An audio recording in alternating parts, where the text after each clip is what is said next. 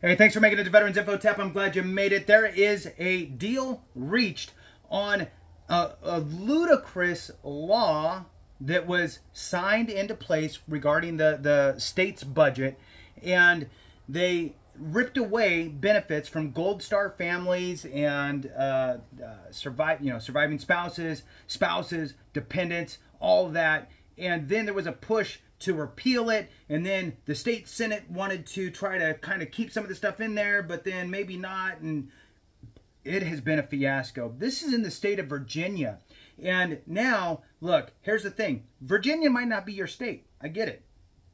But believe me, all of the states watch each other to see what they can do, what they can get away with, what sort of good and bad things that they're doing for veterans, and how that kind of plays out.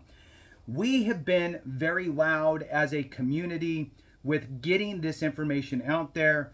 Uh, for those that know Clay over at the CivDiv, we have that joint, joint channel called Veterans Daily.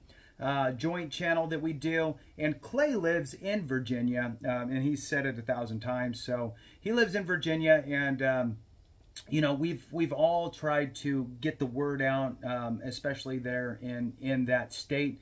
Um, and it looks like things are moving forward. So for those that are interested in seeing how this all played out, uh, even if it affects you or not, uh, let's jump into it. Hit the thumbs up, subscribe, share with a friend, all that good stuff. I really, really appreciate it. All right, Virginia lawmakers reached deal over military tuition benefits.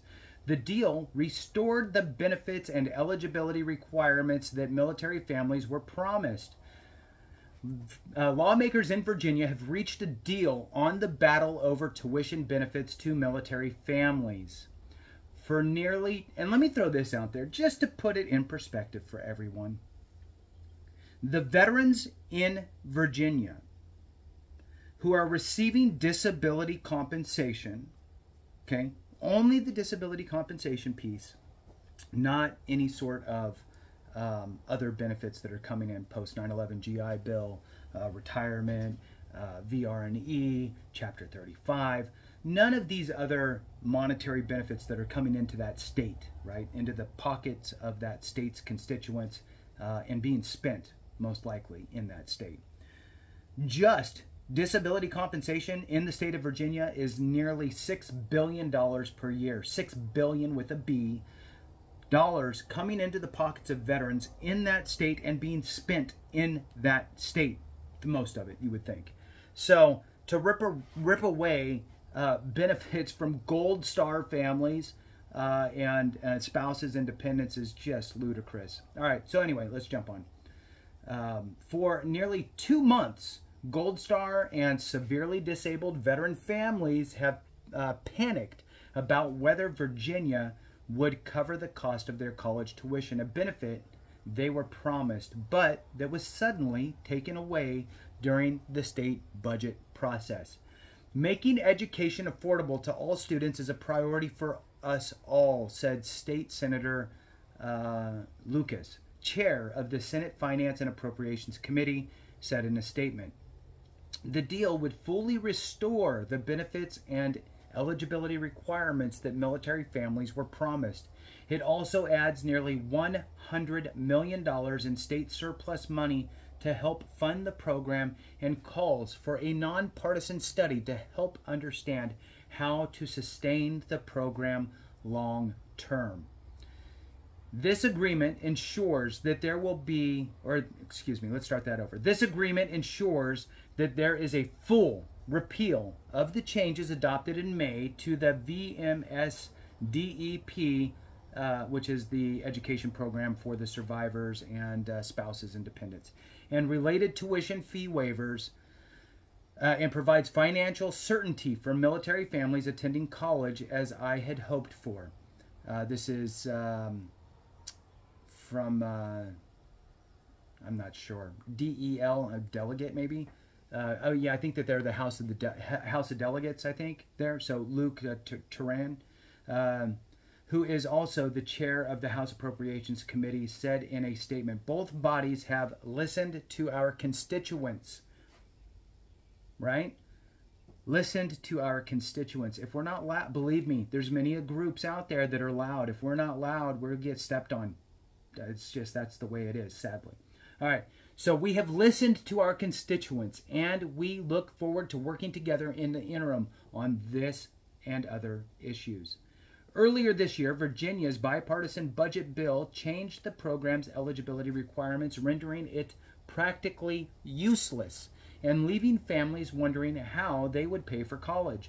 The Virginia Military Survivors and Dependents Education Program paid college tuition for spouses and children of service members either killed or left severely disabled as a result of their service. Let's take that benefit away. Sounds great. We could save a few million dollars. Whatever. The situation has been a mess for nearly two months, and every attempt to clean it up has failed. Lawmakers said the program cost is skyrocketing and colleges have to raise tuition costs for other students to pay for the program. During the budget process, Governor Glenn Youngkin proposed cutting tens of millions of dollars to support the program, but the budget altered the program's eligibility requirements drastically. Upon the dealing upon the deal passing, Youngkin said in a post on X, a full clean repeal with additional financial support for the VMS DEP program, uh, unencumbered by any other provisions, is great news for our military heroes, first responders, and their families. And that was his uh, his X post. So here's the thing.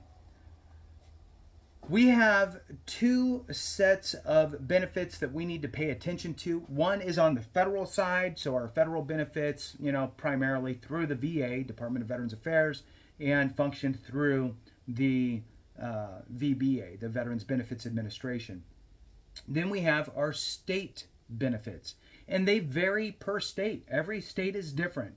Um, they may offer the same thing, but might have different thresholds, qualif- uh, qualifiers, different amounts. For example, you might be in one state where they, uh, if you're 100% rated uh, veteran, maybe they reduce your property tax liability by uh, $100,000 of value. So let's just say if you owned a $500,000 house, they would reduce that value down to 400,000 for tax purposes and tax you on $400,000 of it.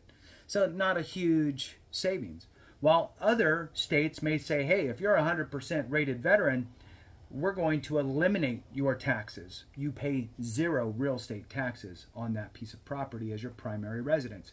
So there's other states that will have education benefits for spouses and dependents uh, out there. Some are more strict than others. Uh, some uh, might allow for a dependent to get free school if they're a dependent of a disabled veteran at any percentage, while uh, uh, they might also have it to be where if you're 100% rated, your spouse can also go. So, all that to say is that we have to keep our eyes on two moving kind of targets the VA federal stuff and then our state stuff.